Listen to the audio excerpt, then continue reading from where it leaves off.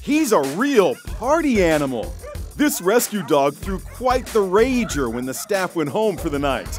He escaped from his kennel and played with all the toys. In the morning, when the lights came on, the jig is up. What a mess! Let's go find who did it. So, who's the culprit? It was Gilligan.